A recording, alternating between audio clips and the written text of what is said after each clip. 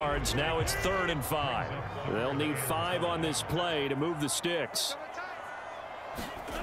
To throw, it's Rodgers. And he will go down. A Cowboys sack. Micah Parsons. in there to drop him for a six-yard loss, and that will lead to fourth down. I think we've seen this before. Someone's down three scores. That situation there is just going to add to their growing frustration.